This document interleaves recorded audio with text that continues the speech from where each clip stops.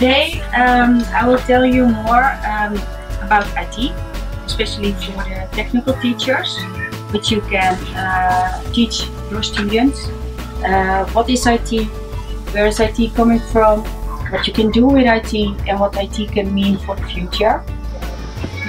Okay, to start, what is a computer?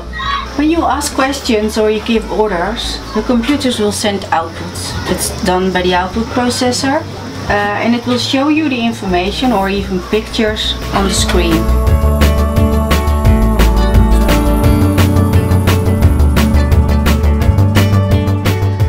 What is a computer? What are the components of a computer? Information technology, it's important that you always stay curious, always. It can give you a lot of answers and a lot of wisdom.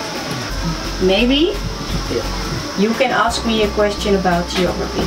Maybe. Maybe. Uh, maybe you can um, prepare a question about culture.